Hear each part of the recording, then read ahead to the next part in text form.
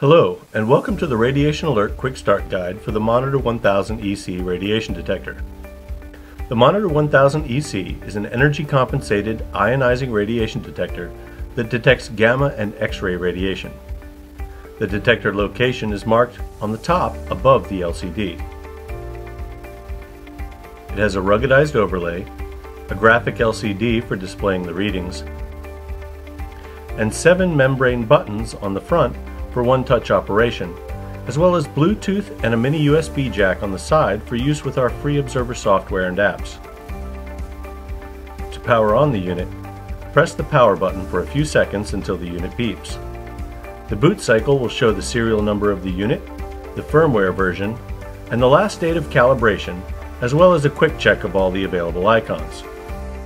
The battery icon shows the remaining power, and a small audio icon indicates that the audio is on. Once the boot cycle has completed, you can use the mode buttons to scroll through the different units of measurement available.